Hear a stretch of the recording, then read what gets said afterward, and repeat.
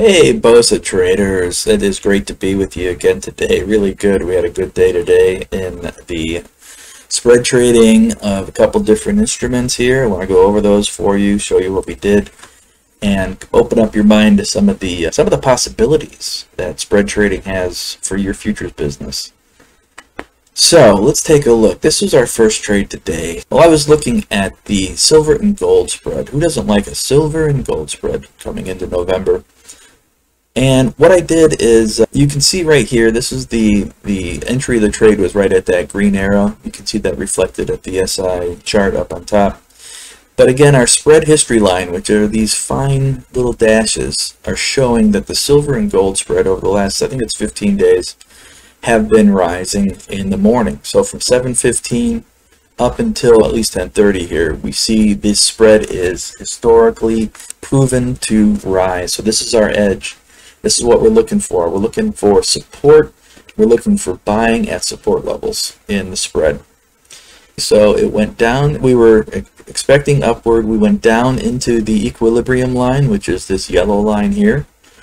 I saw this, actually I saw this right at 8.15, but I didn't jump on it. I saw the green short-term moving average coming in and prices of the spread were above that level. I actually ignored it. I wasn't in here at that time. When I returned to the chart, I noticed that we had cycle dots here, but they had finished printing. So we were out of a cycle mode down, and the market was still finding support right at the low of this channel that had formed. The fast moving average is still rising, generally speaking, and I went and I put a limit buy right here, go long, at the bottom of this wedge here that was forming, or this triangle. And I got filled and took gosh, I took like no heat at all here, you can see. Went long right at that point on a limit entry, an automatic limit entry, and the market found great support. The movement continued, and boom, we found all the way to target. And this was a, a move of, this wasn't a $2,100 move, but it was about an about a $900 move. So we were long two spreads here. So exciting move there. We had a great trade right off the bat. I'll get back to the second trade. The third trade here was at 9.30, and the market we're looking at is the micro NASDAQ versus the micro Russell. Now you'll notice that this one requires a balancing of the V dollar ratio in order to make it a balanced spread. And we need the balancing because some contracts move dollar wise, they move much higher than other contracts. So it wouldn't make sense to trade one micro NASDAQ against a micro Russell because the micro Russell doesn't move as far as the NASDAQ does on a daily basis. And BOSA calculates your V dollar ratio for you. This V dollar is volatility dollar ratio. So the volatility in dollars is what's being shown here. If you want to make this an equivalent spread, where the dollar movement per day is equal, you want to trade three micro Russells, that's what the three is here for, and one micro NASDAQ. And that will get you an equivalent dollar move on a daily volatility basis. So I set a BOSA to trade one micro NASDAQ long and three micro Russells short. Now the cool thing about this is that you don't have to trade it that way, but if you were to trade it at a one and one ratio, the micro NASDAQ would be the dominant leg of the spread, and the micro Russell wouldn't be able to give you an effective hedge.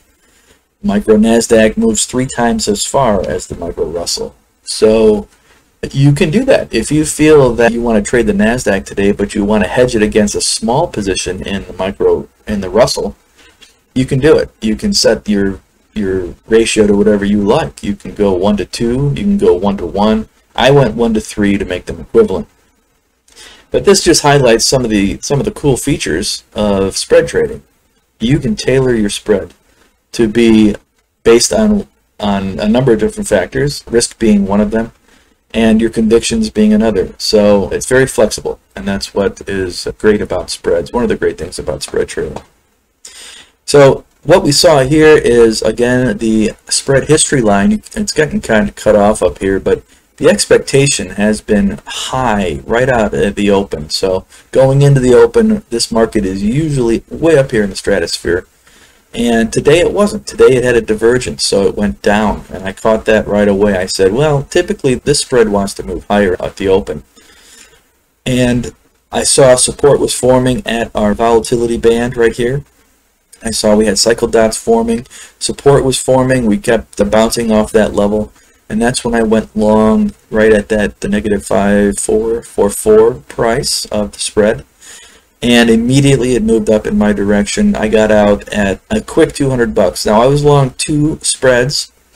Each spread now is four contracts. It's one contract of the NASDAQ, three contracts of the Micro Russell and that's what we were trading. So it was I was long two micro Nasdaq and I was short six micro Russells, and that's how that worked out. All right, so now let's look at the really big move today. So this is the third trade I did, which was the crude oil and RB. Now RB is the gasoline market. Not many people trade that. It's kind of a thin market. It's still ticking away right here, but this is an interesting spread, and it's not for the faint of heart. It could be it could be a big mover. It's not very highly correlated. So there's risk here. This is not an ideal spread. It is a commodity derivative spread. So the commodity is, is crude oil, and the derivative from crude oil is the gasoline product, obviously. So it's got that correlation going for it. But I tell you, this can be a this could be a wild mover. What I saw in this market to begin with was it was down. The expectation is the red dashes here is down below the equilibrium line.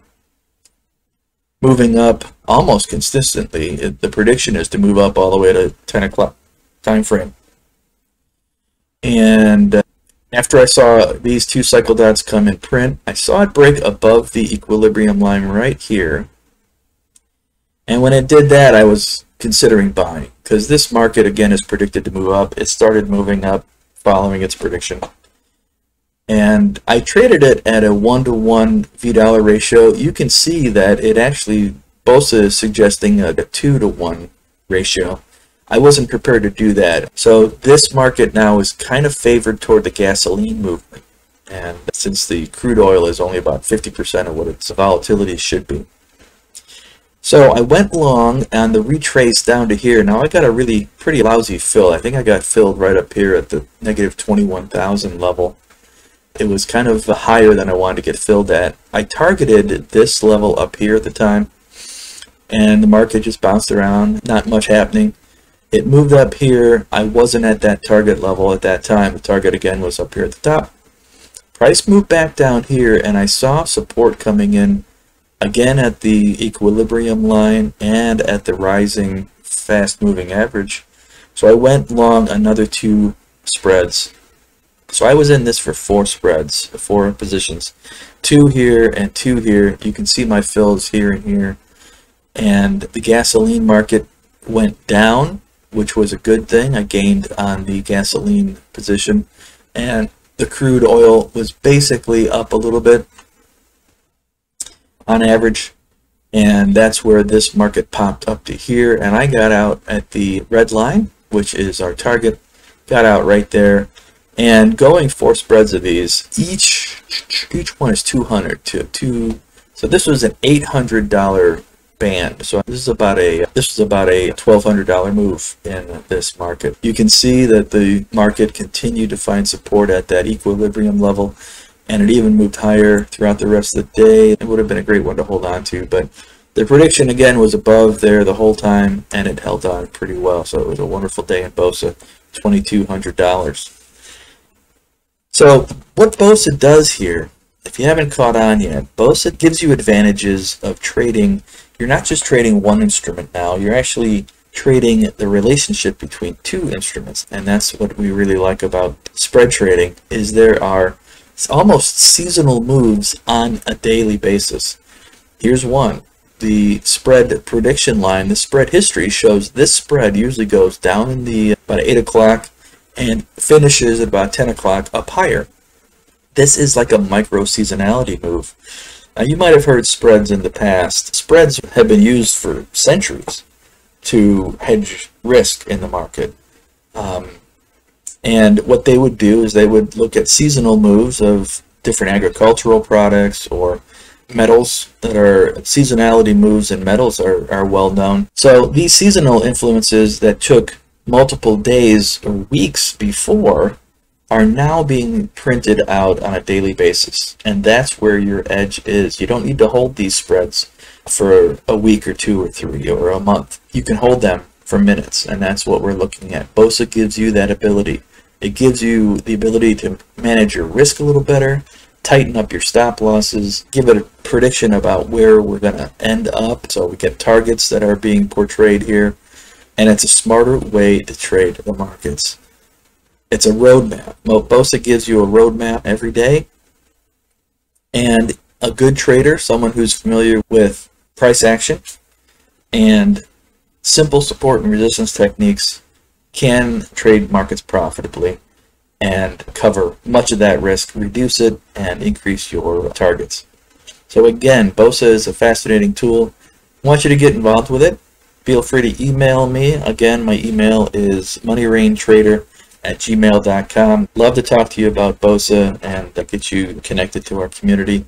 We have a Discord room that's starting to form, and we've got many ways for you to contact us. Uh, it's not for everybody. This is an elite tool for professionals. And if you want to raise your game a little bit, I'd love to have you join us. Again, thanks for stopping by today. Email me. Love to hear from you. Have a wonderful day, and we'll see you again very soon.